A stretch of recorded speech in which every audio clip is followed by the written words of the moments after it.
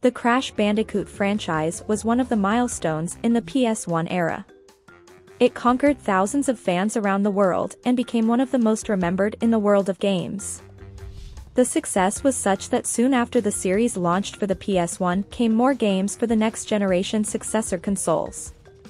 Remembering that years later the trilogy that was initially released for Sony's first PlayStation won a remake available for several platforms including Xbox.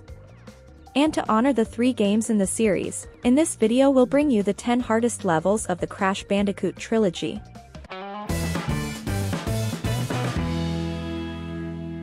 Ten, Night Fight, Crash 2. I don't know about you, but dark levels are always harder to beat. Especially when you have time to activate the light, as is the case with this stage.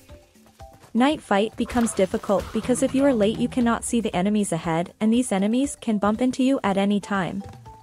If you need to go the other way, the task becomes even more difficult. For this reason, this level is in the 10th position.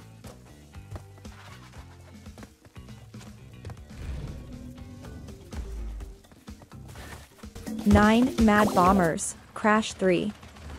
This level becomes difficult especially for those who do not have much affinity with flight simulator games. It is a very different level from the others. Therefore, finishing this level becomes a little more difficult. In it, you need to shoot down the bigger planes, but there are smaller planes that will try to take you down. And if your energy bar is low, you need to forget about your mission and try to find med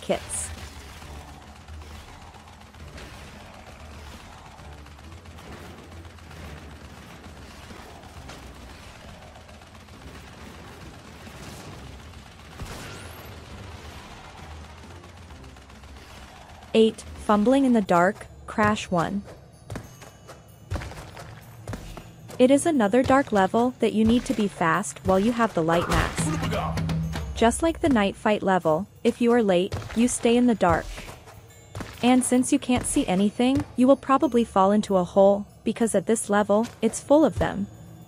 To make the mission even more difficult, there are some axes in the way and some enemies.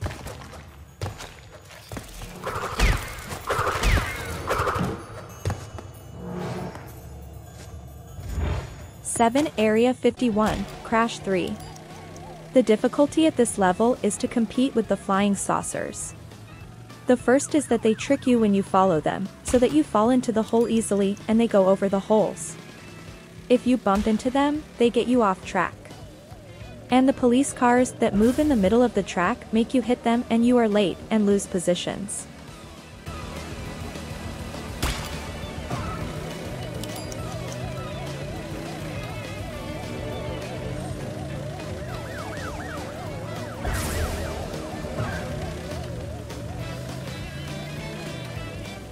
6. Piston it away, Crash 2. At this level we have several nitro boxes scattered along the way. So all calm is still little. Most enemies require jumping skills.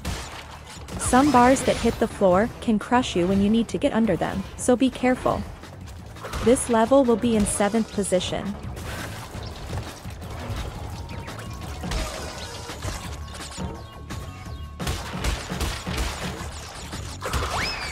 5, Totally Bear, Crash 2. What makes this level difficult is not only that you ride the polar bear, but it is very dark and difficult to see where you are going or how far you need to jump, reaching the end gives no reward, which means that you need to break all the boxes to get the gem. All I can say is good luck when you reach that level.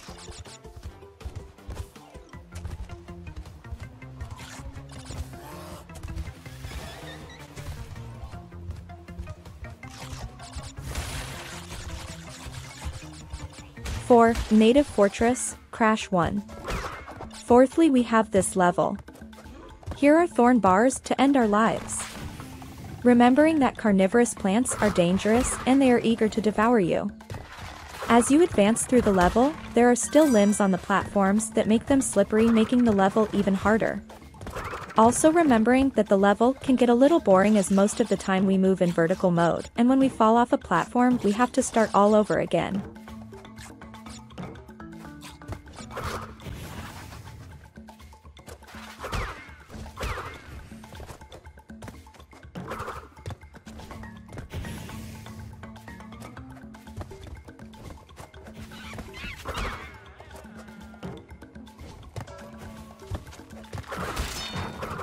3. The High Road. It's fine that at this level we have a few varieties of enemies, but don't be happy about it. The whole level pretty much, we have to balance on ropes, dodge turtles, and be very careful where we step, as at any time those planks on the ropes can break.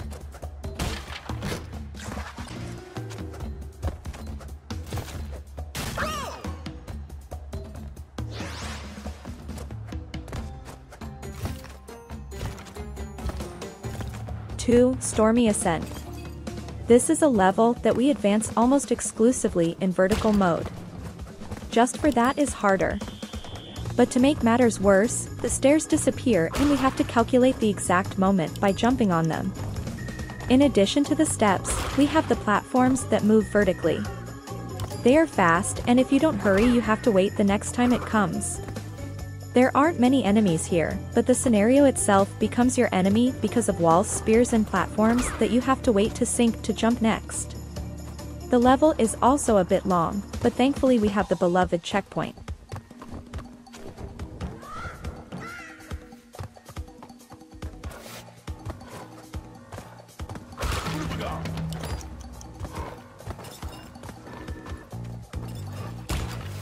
One, Slippery Climb, Crash 1. This level is the same as Stormy Ascent, but even harder. The stage is the same and the enemies too but at this level, crash movements need to be more precisely calculated. Here mobile platforms have variable movements, alternating between slow and fast, making it difficult to walk on them. To beat this level you need a lot of patience.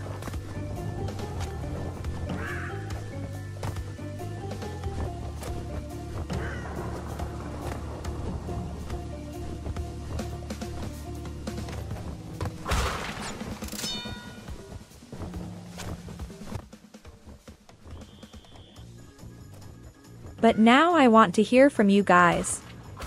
Do you agree with me on this list or would you change anything?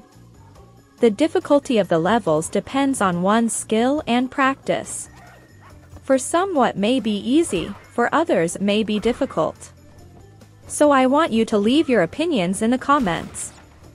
Don't forget to leave your like and also subscribe to the channel to follow the next videos. See you soon. Goodbye.